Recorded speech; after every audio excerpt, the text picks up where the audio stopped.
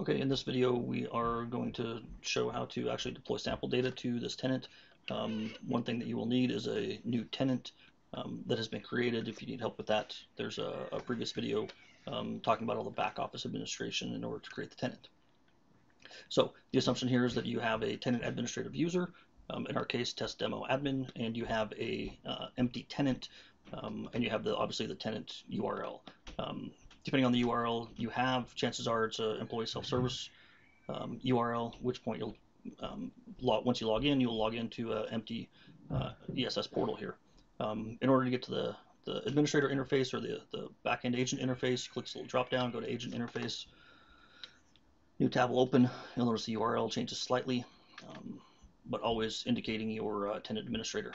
Um, since this was a the very first time um, being logged into the agent interface, um, this little pop-up uh, comes up, at which point you can quickly and easily click the deploy sample data. Um, however, I'm going to show you um, how to get to that uh, same screen um, without actually uh, leveraging this particular uh, pop-up, just in case you've already logged in and you did not deploy the first time. So you're going to click no thanks on that if you if you get it. Um, so once here, you'll see you have an empty dashboard. There's no data display because there is no sample data. Um, so we're going to go up here to our mega menu. We're going to go to administration and we are going to go to under the utility section we're going to go to sample data. Um, this is the sample data screen. Um, you can see that there's has been nothing started. Um, so we're just going to scroll to the bottom and we're going to click deploy sample data. Uh, quick confirmation here to continue um, and it will take some time.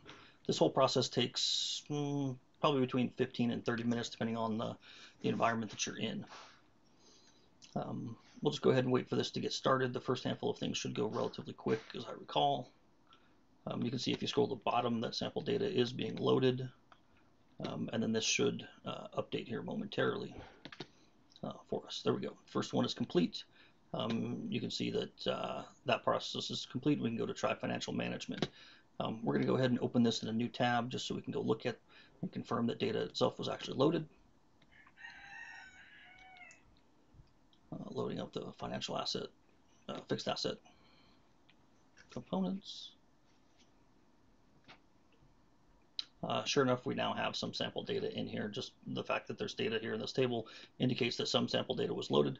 Um, so we're going to assume that everything else is going to go well. Um, you can see that uh, we're in the process of deploying sample users, groups, and locations. Um, and you can continue to monitor this page um, as it carries forward. You can see that uh, you know users, groups, locations completed, as well as a number of other things just in the last refresh.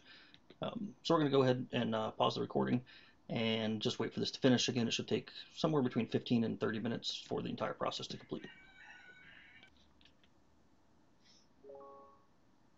Okay, here we are. Um, sample data has been deployed and everything in the uh, deploy sample data screen is showing complete. So with that, uh, this little activity is completed.